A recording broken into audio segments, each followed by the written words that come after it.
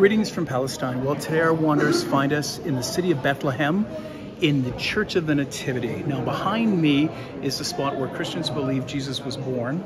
We've just toured through it. It's a must see for all wanderers. Take a moment, take in the energy in this historic site. Until next time from Wendell's Wanderings, wander well.